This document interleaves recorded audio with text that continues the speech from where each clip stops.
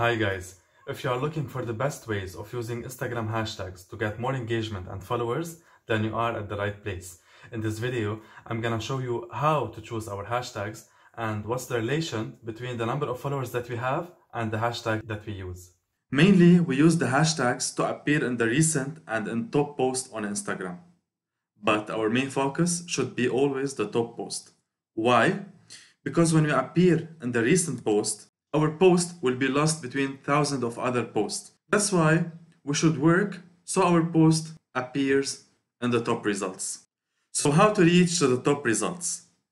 Mainly, the top results work based on the number of engagement that we have. And the engagements that are important to the feed ranking are the comments, the likes, the views, and the reshares. So it's all about the engagement. But how we should start? There are plenty of hashtags we can use to appear in the top post. And mainly we use the most popular hashtags. We call them the big hashtags. For example, here we have the online shopping hashtag. It has around 43 million posts. That's why we should mix our hashtags and use smaller and bigger ones.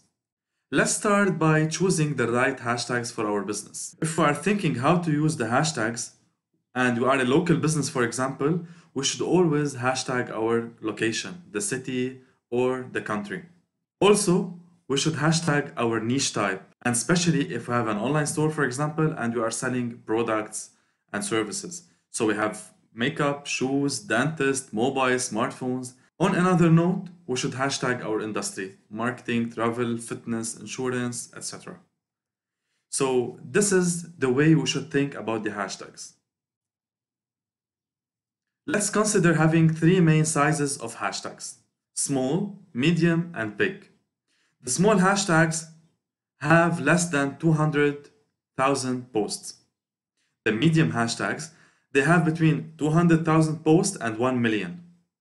And the big hashtags, they have over 1 million posts. So we need to try to mix our hashtags between small, medium, and big. So what's the relation between the size of the hashtag and the number of followers that we have? So based on my experience, we should change the hashtags we used based on the number of followers that we have. If you have between 1 and 10,000 followers, use 20 small hashtags, 80 medium, and 2 big hashtags. If you have between 10 and 50,000 followers, use 15 small hashtags, 10 medium hashtags, and 5 big hashtags. And if you have more than 50,000 followers, it's better for you to use 10 small hashtags 15 medium hashtags, and 5 big hashtags. And believe me, you'll get surprised with the number of results you will take. But remember one more thing, that it all depends on the content. Make sure to create valuable one. After knowing how to choose the right hashtags, I advise you to check my other video showing real figures on my Instagram profile and you will see how many impressions I get from the hashtags I use. Thank you guys for watching. I hope you liked this video. Drop down your comments or questions and do not forget subscribe to my channel. See you in my next video.